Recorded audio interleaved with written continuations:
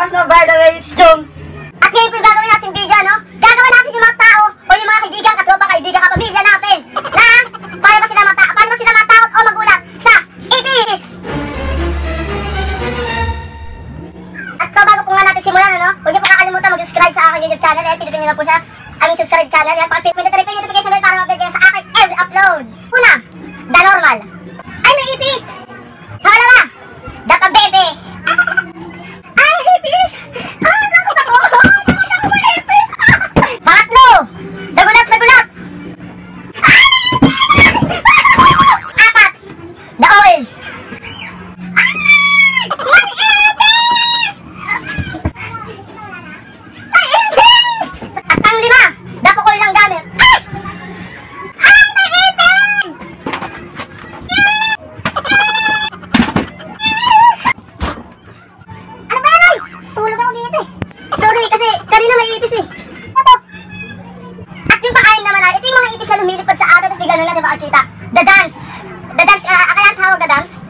panoorin nyo.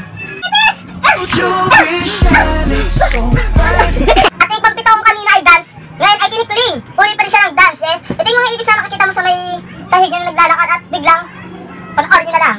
Ay, may ipis! Ay, may ipis!